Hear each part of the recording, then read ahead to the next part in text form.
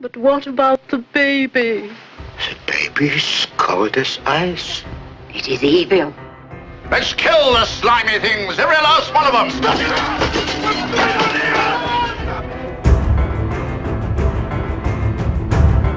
A tiny mark so long on his neck. You mean to say they care? I'm afraid he's dead. It's the curse. Mr. Barkers means the snake girl.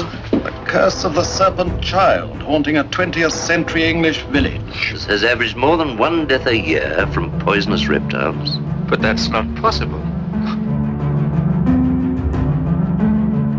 Suppose this cobra venom, flowing constantly through the mother's veins, had an effect on the new life inside her. Don't move a muscle. What are you doing? Saving your life.